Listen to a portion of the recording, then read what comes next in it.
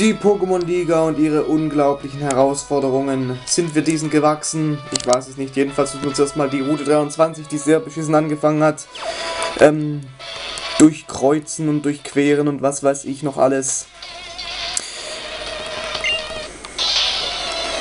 Ja, es wird nicht leicht.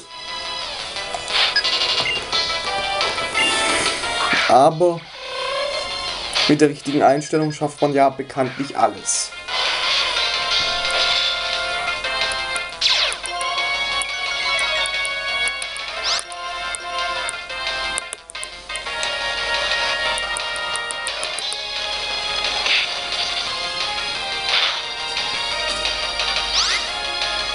Und die wilden Pokémon sind sogar viel stärker als die Pokémon, die wir hier sehen. Also ich werde im letzten Part einen Hutsasa auf Level 56. So, Skyzora. Ich glaube Level 52 kann ich gleich den EP-Teiler behalten.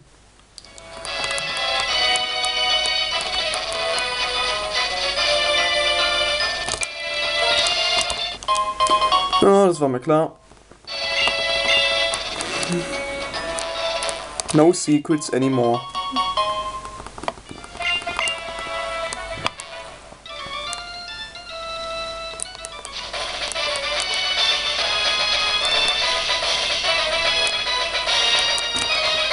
Na, wäre auch nur zu schön gewesen.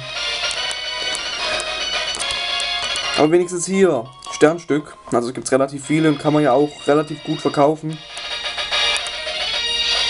Und die Trainer, die zahlen ja relativ viel Geld, da lässt sich das, lässt sich das relativ gut kombinieren. Gut, jetzt haben wir natürlich die Auswahl, wo wir entlang gehen wollen. Okay, da war wahrscheinlich nur wieder ein Item. Und irgendwas verstecktes halt, also gehen wir hier lang. So sind wir eigentlich auf dem Hauptstück der Route.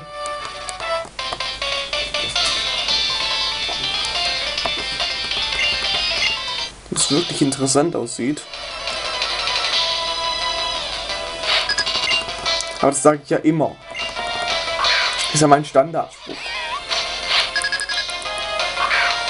Okay, Level 53 und ein Bäuerlin, das ist jetzt sagen wir mal nicht die beste, nicht, die, nicht das Beste, was ich erhofft habe, dass es kommt.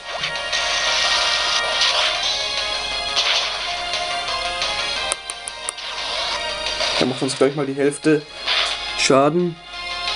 Das ist nicht so gut, deswegen habe ich ja auch dafür was zum Auskontern.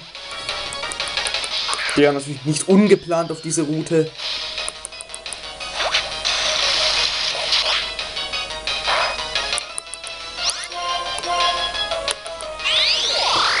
Ob es jetzt reicht, das ist eine gute Frage. 150, nee. Eigentlich, ja, es hat auf jeden Fall gereicht. Also muss man das gar nicht berechnen, auch wenn es ein Volltreffer war.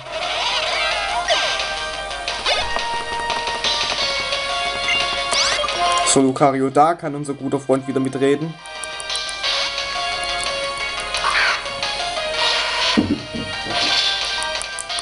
Jetzt natürlich schade, ich meine, es ist ja sein eigener Kampfgefährte, sozusagen, so Angriff mal eingeschwächt und das ist ja sehr wichtig für Lucario, ein physischer Angriff. So, es ist sehr effektiv. Es müsste eigentlich, ja, das war das, was ich befürchtet habe, was passiert, aber es ist ja eigentlich egal. Hauptsache, wir kommen voran.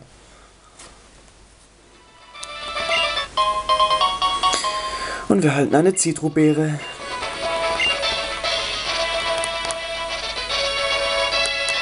Ja, wenn Sie meinen, dass die Siegestraße hier in der Nähe ist, da bin ich doch froh.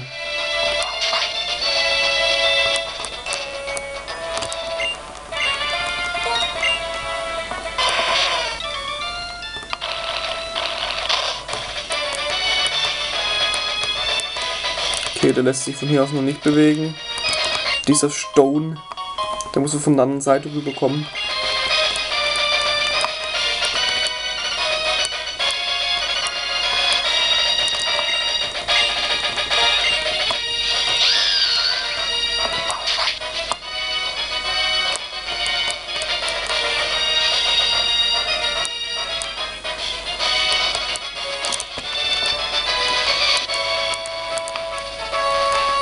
Gut, da geht's nicht durch. Und da kommen wir auch noch nicht nach oben hin. Aber erstmal kämpfen wir gegen den Kerl, der zwischen den Büschen lauert oder den Bäumen. Wenn dann relativ viele Bäume, also ist eine sehr gesunde Region, wenn man sich's überlegt. Connor. Aber nicht der Connor aus Assassin's Creed. Nicht der enttäuschende Connor. So. Jetzt gibt es einen Kampf der Feuer-Pokémon. Wobei andere Attacken entscheidend sind.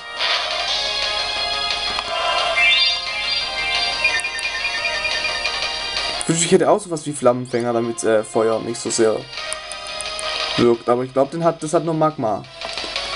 Auf jeden Fall treffe ich ihn dort, wo es ihm am meisten wehtut. Mit der Bodenattacke zumindest.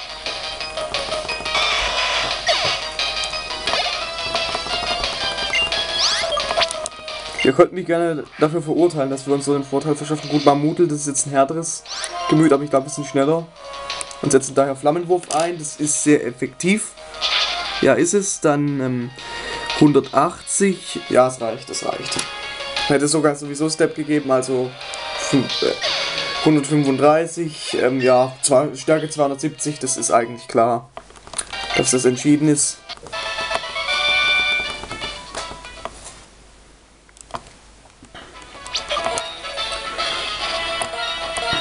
Sonne wird, wird wieder gechanged, gechanged, changed, changed, was die, ähm, dass die Weide hackelt, Weide wackelt oder was weiß ich. Irgend so ein Sprichwort halt, das mal wieder keiner benutzt, weil es schon so alt ist.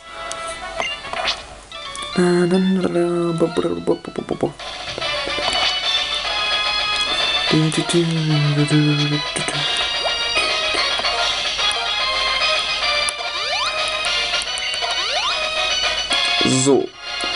Das müsste jetzt eigentlich gut funktionieren hier. Weil ich ehrlich gesagt keine Ahnung habe, wie ich da jetzt weitermachen soll. In diesem Steinschieberätsel. Einfach mal da lang gehen und dann kommt man schon zu so einem Kerl. Der uns da nicht durchlässt. Ja, spitzenmäßig. Ja, scheiße.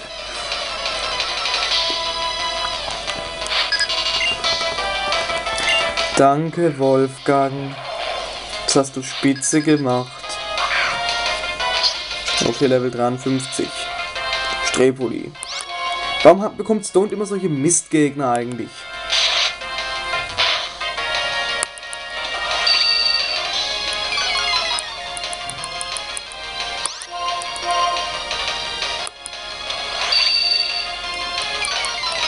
Warum macht er uns so langsam?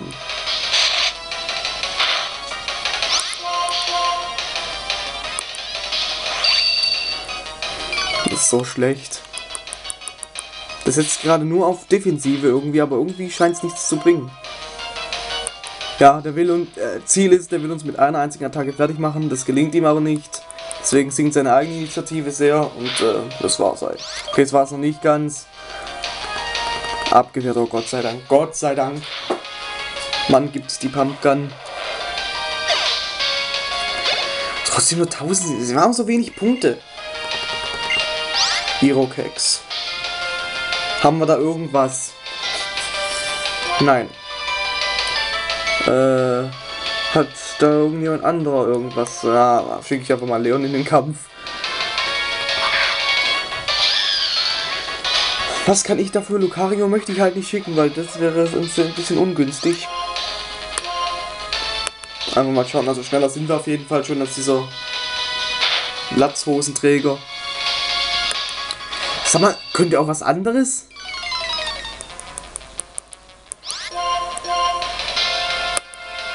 Ach, das ist doch langweilig. Mensch, ich will Attacken sehen, ich will, dass es mir richtig schwer macht, aber so wird es doch nichts. Also zumindest nicht in diesem Jahrzehnt. Und äh, wenn wir die Pokémon-Liga oder die Siegesstraße erreichen, muss ich mir unbedingt aufschreiben, wie viele Trainer es gibt, damit ich das auch gut abpassen kann. Ich möchte gerne so viele wie möglich besiegen, am besten alle.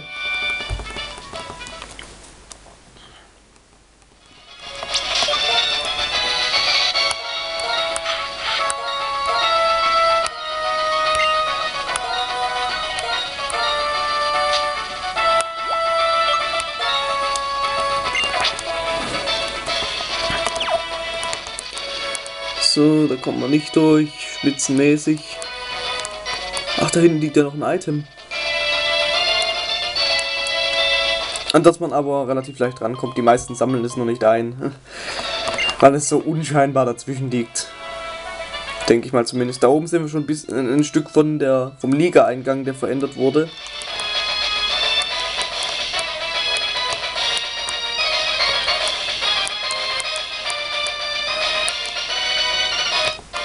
So, jetzt kommen wir halt von unten rüber. Ah, zukünftiger Champ, der gibt also schon zu, dass wir ähm, die Besten sind. Was sagt das nicht auch immer dieser Guido? Ich würde der Guido höchst persönlich vermissen. Also, oder Guido, wie er heißt. Der war auf jeden Fall immer ein cooler Gefährte.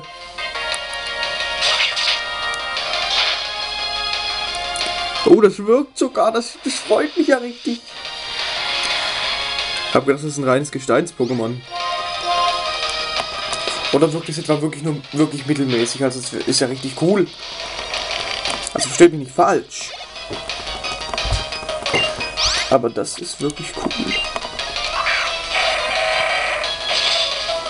Gut, bei dem Artgenossen hier wird es etwas schwieriger. Mal Schlitze einsetzen. Oh, wir sind sogar schneller. Ja, komm.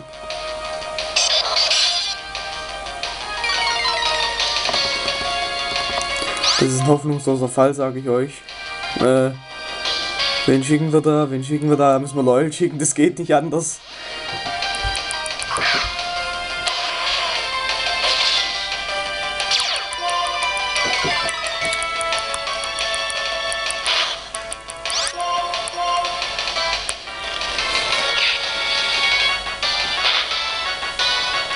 Gut, so effektiv war das dann auch wieder nicht, aber es hat sich, aber es hat sich rentiert ein bisschen. Gewiss hat es sich rentiert und ja, das war's. Auch mit Stollers. Also in der Pokémon-Liga, also wenn wir die Pokémon-Liga erreichen, dann ist das Training offiziell beendet und dann schicke ich die Pokémon so, wie ich sie will. Weil danach, die spielen danach sowieso nicht mehr die Rolle, weil ich nämlich nach den Credits auf ein Backup-Team setze, weil die Pokémon danach einfach zu stark werden. Ich möchte noch was gerne vom Hürdenmodus zeigen. Und deswegen machen wir das so. Auch wieder gut Sasa, gutes Training.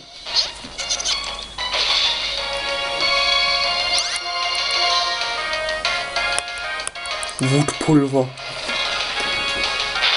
Aber wir haben es vereitelt, das kann man sagen.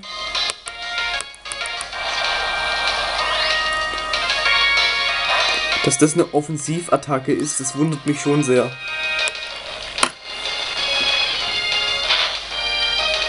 Ich meine, wir kamen auf die Idee auf so eine... Und das ist das größte, die größte Unverschämtheit einfach nur, die man in einem wilden Pokémon-Kampf machen kann, sich heilen. Also der Gegner damit. Also mit Synthese und so. Das Zeug.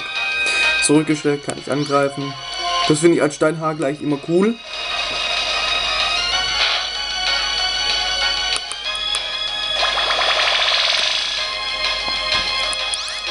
Jetzt wirst du platt gemacht. Eigentlich fangen wäre ja auch sinnvoll wegen Level 56, aber ich bitte euch. Ich tausche mein Stone nicht aus. Ist einfach nur ein Spezialist. Und Spezialisten müssen trainiert werden. Ja, eher Clara, eher Clara braucht es, weil Leon hat manchmal seine guten Phasen und da möchte ich ihm natürlich unterstützen und so fördert man auch seine Pokémon. Das ist so gut, das ist so schön.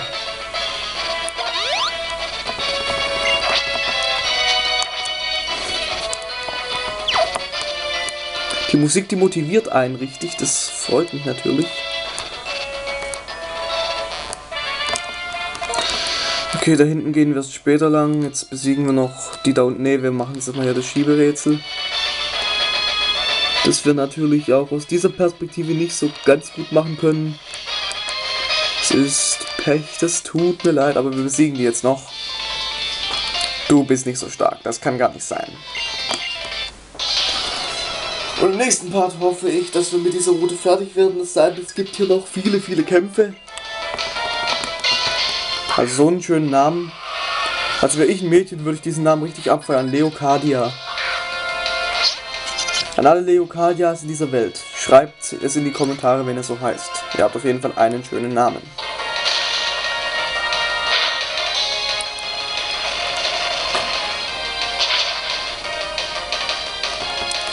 Das hat nicht sehr effektiv gewirkt.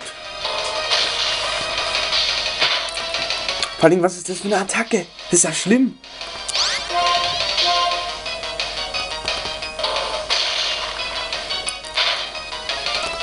Da fällt so eine Walze auf einen runter. Jetzt sind auch noch vergiftet, spitzenmäßig.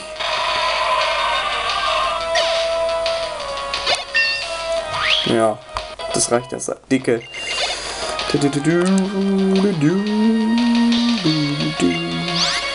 Ja klar, gegen Akani. Ja, das schaffen wir jetzt mit. Das ist ja ein perfekter Start für Leon.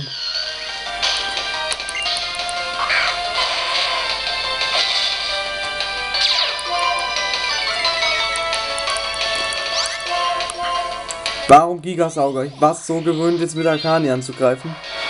Ach, jetzt muss ich halt dafür leiden, scheiße. Äh. Okay, wir haben es überlebt. Warum jetzt Blitz?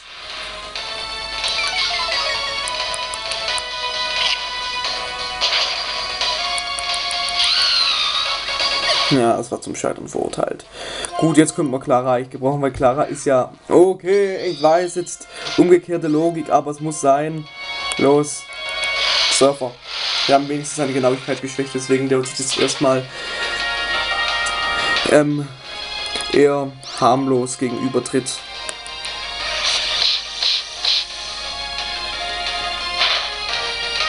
Dass Clara den Hintern versucht bekommt, finde ich gar nicht schön.